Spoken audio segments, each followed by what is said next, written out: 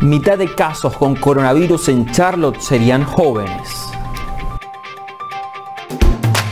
¡Wow! Supermarket presenta.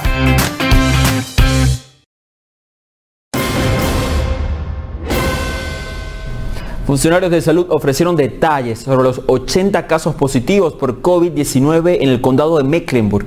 Aseguran que la mitad de los pacientes tendría edades entre los 20 y 39 años. Uno de los casos es una persona menor de 19 años, destacaron los funcionarios. Las víctimas residen en el condado y al menos uno de ellos vive en cada código postal de la ciudad.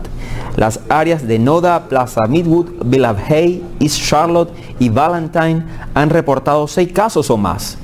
Si bien los expertos dicen que personas más jóvenes están presentando la enfermedad, el virus sigue siendo significativamente más peligroso para los mayores. Todo wow en Wow Supermarket presentó.